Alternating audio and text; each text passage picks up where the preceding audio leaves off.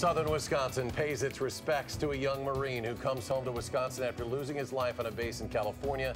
We'll have a live report. And an update on more than a dozen firearms stolen from a Dane County gun shop last fall. Plus, we'll have the latest on an eight year old boy shot in the face by his babysitter in Grant County. It's next at 10.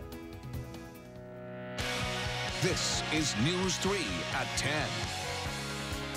And thank you for joining us tonight. The body of a slain Marine is back home in Janesville this evening. Private First Class Ethan Barclay Weber Paul was killed at Camp Pendleton last week. Our Rock County reporter Jenna Mitta live outside the funeral home tonight in Janesville, where the processional arrived earlier this evening. Jenna? In Janesville. Great show of support from that community tonight. Our Jenna Mitta reporting live. Thanks, Jenna.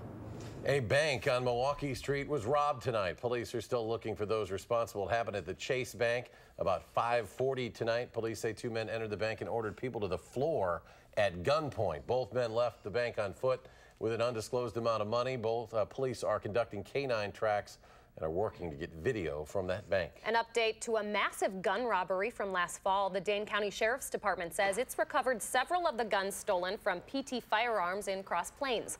Back in October, burglars used a stolen car to crash into that store and take 14 guns.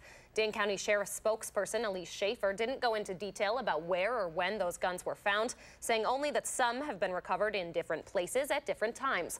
Schaefer says some of those weapons are still missing tonight. To weather now, a lot of melting out there today. and That's your first alert forecast. All right, thanks, Gary. A Madison police officer is back in court after being charged with drunk driving with a child in the car. A criminal complaint says someone called 911 after seeing Kelly Heft's car plow through some road signs last summer. Documents say her blood alcohol content was at 0.27 and she had her five year old child in the back seat. Today, one of the arresting officers and a colleague of Heft's testified about what happened. What led you ultimately to make the decision to place the defendant under arrest? Based on the totality of the circumstances, from the witness information regarding the vehicle's driving behavior, the defendant's blank stare, bloodshot eyes, admission that she had been drinking not just drinking but too much, the odor of intoxicants coming from her, her behavior on scene, her inability to locate her license, her walking away when I told her not to, uh, her refusal to perform standard field sobriety tests. Based on the totality of those circumstances, that is why I placed her under arrest. Heft was in court for a motion hearing today where a judge denied requests to suppress evidence by her lawyer. She'll be back in court next month. Police arrested a Columbus man yesterday on a suspicion of possessing child pornography. Attorney General Brad Schimel announced the arrest of David Burkett today. According to the complaint, authorities had searched his home and found a hard drive containing images of nude underage males. The Department of Justice says Burkett has had previous convictions related to child exploitation. State attorneys want a judge to civilly commit a man who sexually assaulted and killed a girl more than four decades ago.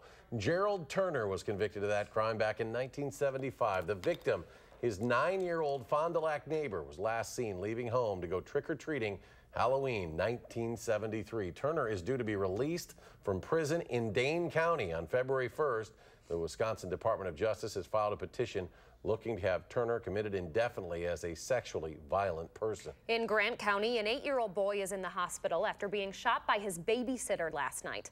It happened at a home on County Road E outside Livingston. Deputies there say a 13 year old boy and his eight year old cousin were home alone when the teenager opened a locked safe and took out a rifle, loading and unloading it a number of times.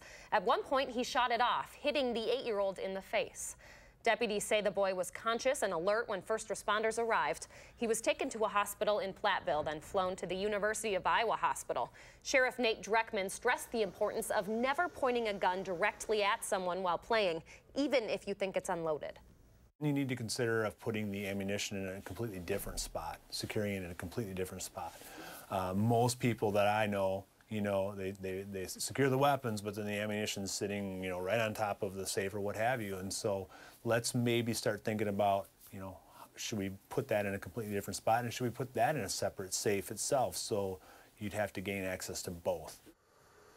Family members tell News 3 the boy underwent surgery in Iowa City and is currently in stable condition.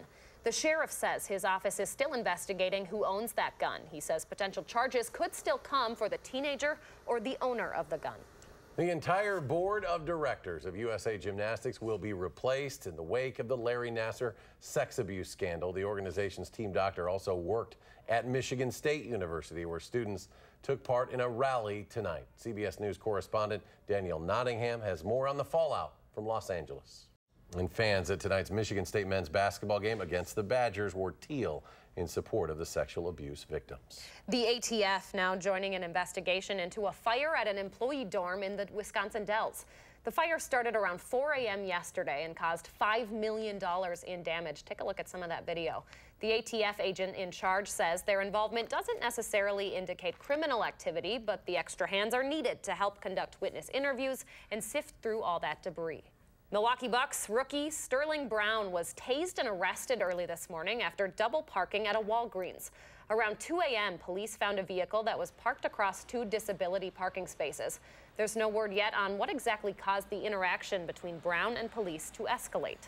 Police are trying to find a man who shot a car with a BB gun, causing it to crash tonight. Middleton police responding to Napoli Lane on uh, about 4 o'clock this afternoon. There was a report of a weapons violation there. The report was that a male suspect had shot at a vehicle, causing it to crash into a light pole.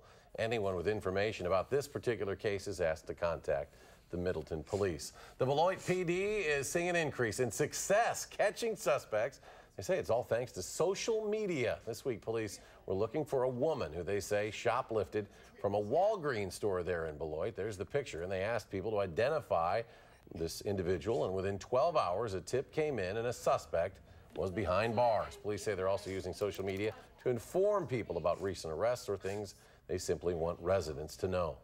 So if there's um, a road closed in their area because of a police presence or because of an accident, we like to let them know ahead of time so they're not inconvenienced in their day. The Beloit Police Department is trying to mix up its Facebook content even more. It's planning to include some profiles of officers as well as a virtual ride along. The Center for Disease Control says this year's deadly flu season is far from over. Influenza outbreaks continue to be widespread in every state except Hawaii. The deaths of seven more children were reported this week, bringing the total to 37 since October.